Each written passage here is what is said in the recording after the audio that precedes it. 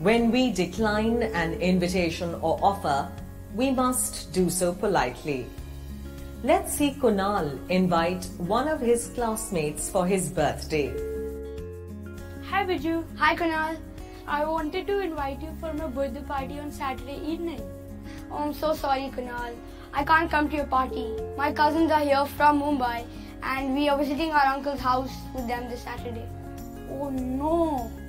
I was looking forward to introducing you to one of my cousins who's an amateur magician. I remember you like magic. In that case, I can come over to meet your cousin the following weekend. Hopefully I'll get some good magic tips from him. That sounds like a good plan.